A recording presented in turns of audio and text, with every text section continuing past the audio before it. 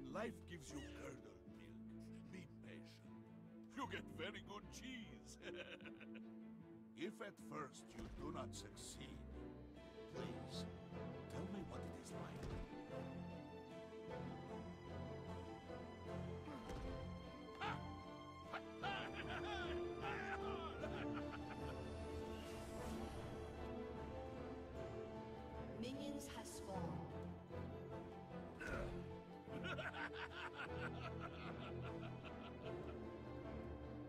wonder